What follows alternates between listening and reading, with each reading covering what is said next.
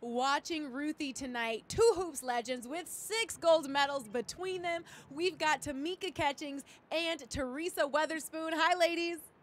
Hi. Hi. Okay, so I've got a couple questions for you. First up, Tamika, you have run this course, okay? So do you have any advice for Ruthie tonight?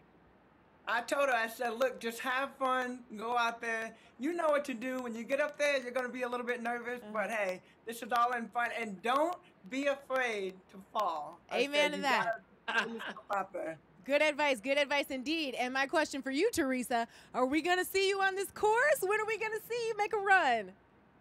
Hey, I got if they're doing it, I gotta do it. I, gotta love do it. I love it. Tamika's giving it the thumbs up. We can't wait to see you hit the course. In the meantime, let's go ahead and cheer Ruthie on, all right?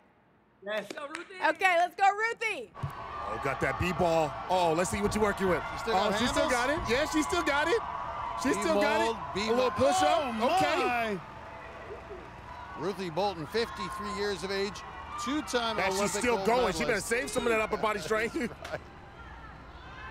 Working on her hand, little handling drill over there. Handle. She got handles. Well, listen, we saw Tamika Catchings make it to the third obstacle in Baltimore. nice assist. You know Ruthie's competitive. on it. Yes. She's looking to beat that, especially as Tamika's watching. Well, we, we saw we saw Sam Sann come out here at 53 years old. Ruthie Bolton, gold medalist, WNBA superstar, legend. A 53-year-old rookie.